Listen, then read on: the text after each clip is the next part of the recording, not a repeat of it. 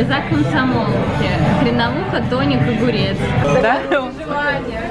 Спасибо большое. Коммунальная семикомнатная квартира.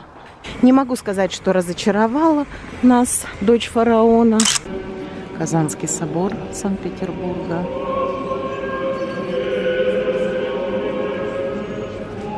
Проходит таинство венчания.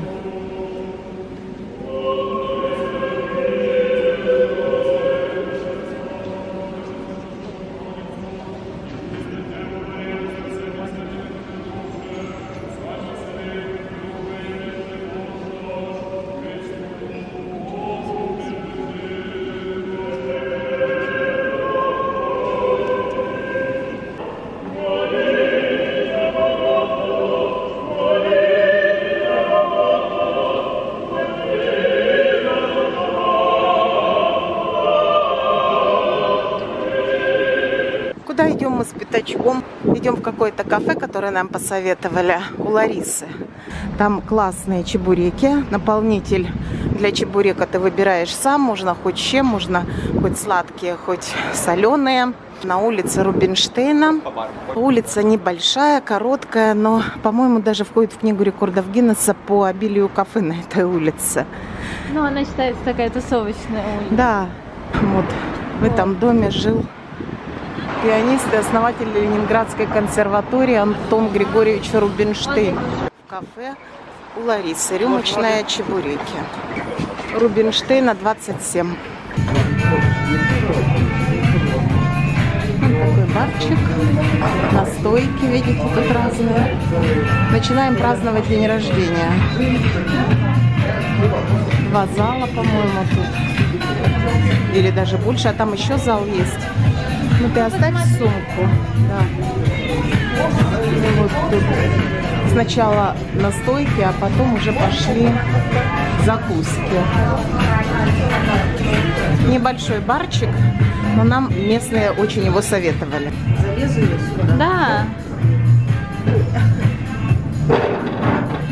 Удобно? Да. Ну ладно, будем пробовать. Да. Покажем, Да. что мы заказали себе, и вкусно или нет, расскажем.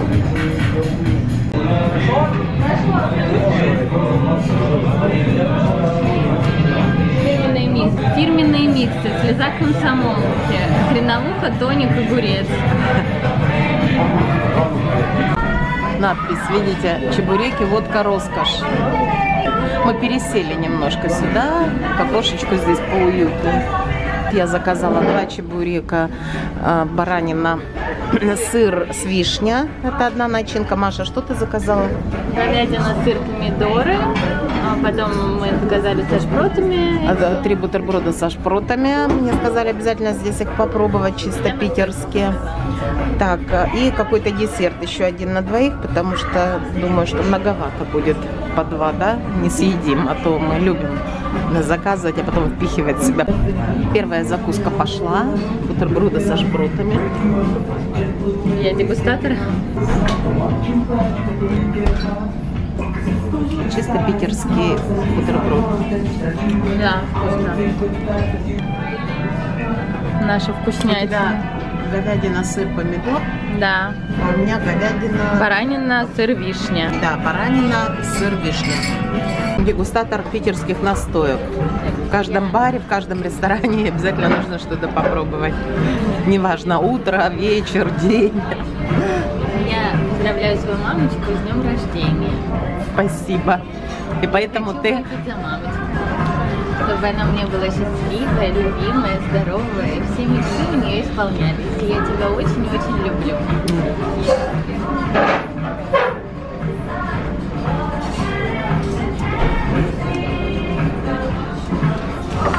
Ну и как? Вкусно. А, а что там, барбарис? Спасибо. Да? Спасибо большое, ребят. Еле. Ну, должны успеть Желание будет. загадать. Да, мы продолжаем поддерживать общество чистых тарелок. Вы знаете, такие вкусные, правда, чебуреки, что мы заказали еще два. Ну, Правда, уже без мяса. Да, с нашим уже перебор. Желудок Очень приятно. Работники бара поздравили, видите, чак-чак подарили. Еще и десерт заказали, мы не знали. Так что будем здесь сидеть, наверное, до вечера, пока все не съедим. Приступаем. Это у меня шпинат, вишня и сыр. Да, шпинат, вишня и сыр. Без вишни. Нет, с вишней. Да? Да, а у тебя картошка, грибы, сыр. Кому-то уже хорошо. Да? Супер местечко. Так что всем очень рекомендую, кто будет в Питере. На Рубинштейна 26-28. Чебуреки. А напротив, вон, смотрите, креветочная. Вам вкусно, девушка, в свой день Очень, рождения? Очень. Это надо еще как-то потихонечку, потихонечку сейчас ходить, чтобы растрястись немножко. Мы решили прогуляться с дочей до Чижика-Пыжика. Чижик-Пыжик где ты был на фонтанке. Вот купил, по-моему. Выпил рюмку, выпил две, закружилась в голове. Ну вот это как раз про нас сегодня. И мы сейчас подойдем к Чижику-Пыжику, попытаем счастье. Попробуем попасть в него монеткой и загадать желание. Я не знаю, кто говорит, что мало солнечных дней в Питере. Когда бы мы ни приезжали в Петербург, всегда почти солнце. Мама кидает чижика-пыжика, загадывает желание в день рождения. О, попала. А как туда Прямо, да?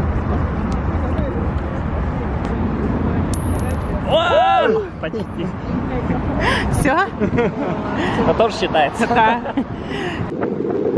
Старокалинкин мост, Адмиралтейские верфи. И это дом, в котором родилась и первый год блокады прожила моя мамочка. Называется Утюг. Дом Утюг на Садовой. Набережная реки Фонтанки. Вот такой дом Утюг. И в какой-то из этих квартир жила в блокаду моя мамочка. Ну, блокаду они только первую зиму здесь прожили, потом эвакуировали их в Челябинск. Конечно, не знаю, реставрировалось ли здесь что-то с тех пор. По-моему, вряд ли, да? Бабушка здесь ходила, тушила фугаски на крыше. Сначала, говорит, ходили в бомбоубежище, а потом, когда были слабые, она просто обнимала детей и лежали на кровати, уже в бомбоубежище не ходили. Одна из жительниц решила показать нам квартиру, вернее, камин, о котором рассказывала мама. А здесь была раньше комната? А вот не знаю. Мама Она говорит, уже- что печка у них была прямо в комнате. Ну, А, точно. д- окно тут есть. Да, она говорит, одна маленькая комната, одна побольше у них Вот. была. И в детской у них была печь. Сейчас вот так используют. А здесь сейчас подсобное помещение. Да, Это кухня, это коммунальная квартира. да, так И вот тоже печь. Ну, мы, конечно, сейчас уже вряд ли поймем, где тут. вот печь. Ага. Вот видите, какая печь. Еще. Мгм. Не, у них окна были во двор. Из комнаты, из одной. А сколько комнат всего здесь? Ну, семь. Семь комнат. Коммунальная семикомнатная квартира. А дом у вас не стоит на реставрацию в очереди? Не знаю, вот сейчас поставили леса, там Да, я видела. Дворик этого дома. Видите? А если в ту сторону, то сегодня там. Ага. Да, трещинки есть. Но в- вот реставрируют. Видимо, не признали аварийным, будут сейчас реставрировать. Дом, конечно, плачевном состоянии сейчас. Вот я вам показала, в каком доме жила моя мама в блокаду. Они не всю блокаду пережили. А В конце первой зимы их эвакуировали, так как мой дед был мастером на Кировском заводе. Его не призвали на войну и эвакуировали в Челябинск. И бабушка с двумя детьми тоже эвакуировалась. Эвакуация проходила очень сложно.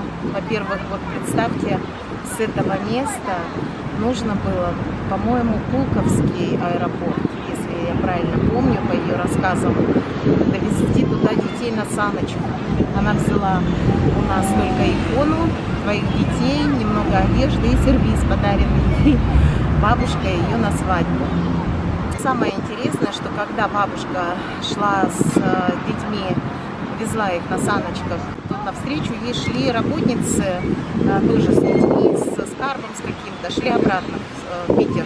Она спросила, почему вас не эвакуировали? А, говорит, записан только один был ребенок. То есть вот семья с двумя, с тремя детьми а, могли эвакуировать только маму и какого-то одного ребенка, а двоих оставили, потому что они не были как бы записаны в списках, их не было. Ну и бабушка уже хотела развернуться, потому что очень многие люди возвращались. Ну, решила потом все-таки рискнуть, попробовать. Дошла до аэропорта, и оказалось, что тоже у нее записан только один ребенок. А, То есть второго нужно было оставить в блокадном Ленинграде, а со вторым улететь. Ей повезло, был сотрудник Кировского завода, который знал лично моего деда. И э, улетели они уже в самолете. Летели в основном пенсионерки, очень такие взрослые женщины. Какие-то руководящие работники эвакуировали своих матерей, свекрови. Представляете, за счет вот этих детей, которых якобы не было в списках. Бабушка, конечно, вспоминала это всегда со слезами. Когда после эвакуации вернулись они в Санкт-Петербург, вернее, в Ленинград, то жили они уже не в этом доме, а в доме Политка. В следующий приезд я вам покажу, если интересно, расскажу. Самое главное, что а, у меня на очереди будет запись о своих предках по материнской линии. Когда мне придет из архивного бюро подтверждение, очень интересную историю расскажу. Оставайтесь на канале. А это окрестности маминого дома, сквер. Напугало, наверное, вас состоянием самого дома. Но, видите, такое ощущение, что со времен войны его и не реставрировали. Зашли в фирменный магазин от фабрики Крупской. Мои. Мишка на севере. Самые любимые, да. Да. Сколько они тут стоят? 900 рублей килограмм. А, нет. 1110 тысяч. Да? Да, у нас дороже стоит. Может, дядя Витя вот такую взять? Давай. Да? Да. Давай. Это на Сенной площади магазин. Конфеты Гулливер. Я хочу такой шоколад. За Мишка на 100 севере. грамм. Набрали мы и в подарок, и себе. Ну, так, понемножку. Канал имени Грибоедова. Красивое местечко. Одно из моих любимых в Питере. Мы с дочей в Мариинском театре. Подарила она мне на день рождения подарок. Купила два билета на балет «Дочь фараона». Это знаменитый очень балет. Ему уже больше ста лет. Всегда он собирал аншлаги. И вот она выбрала специально, купила билет моя доченька. Поздравила меня с днем рождения. Прокручиваешь, а? Ну-ка, ты остановись вот здесь, да. Ночь перед Рождеством. Рим Николай Римского. Ночь перед Рождеством. Видите, старые афиши.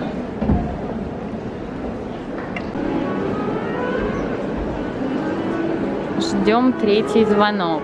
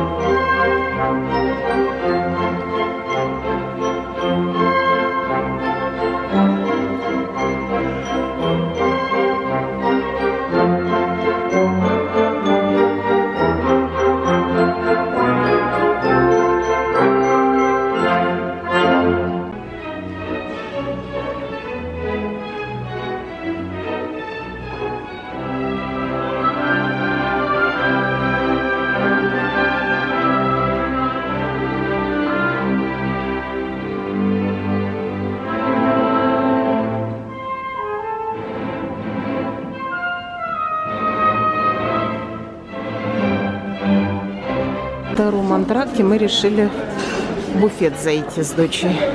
Давай шампанского. Что тут есть, сейчас покажу.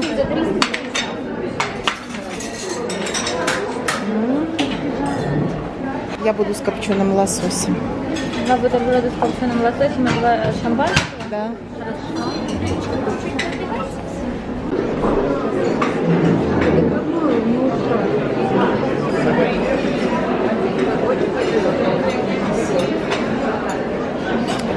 А это Мариинка, салатовое здание.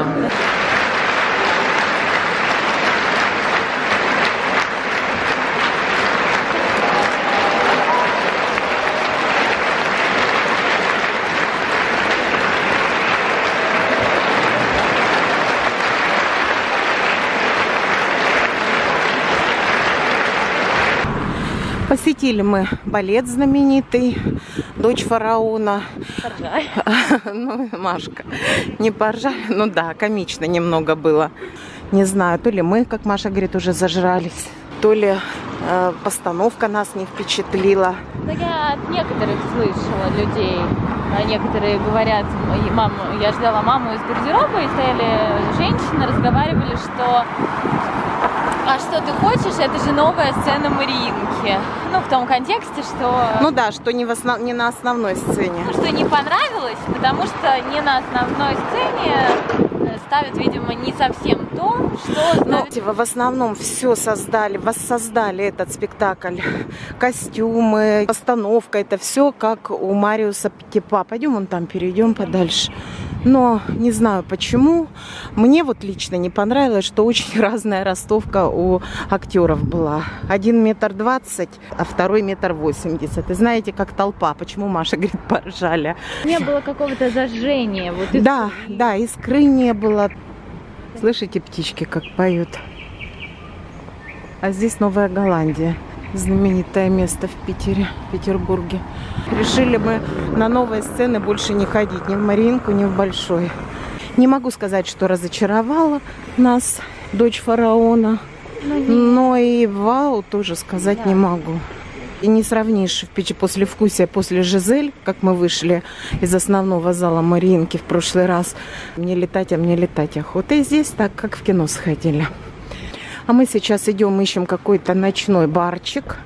Сейчас уже 11 часов вечера. И посидим, допьем шампанское. Наконец мы нашли кафе, где поесть. Я заказала себе том-ям. Да, я говорю, наконец-то нашли кафе, где можно поесть в Питере. Потому что все кафе работают до 0 часов. Вот единственное кафе недалеко от дома нашли, которое работает до 0 часов. Так что у нас день рождения продолжается. Да. Всем хорошего настроения.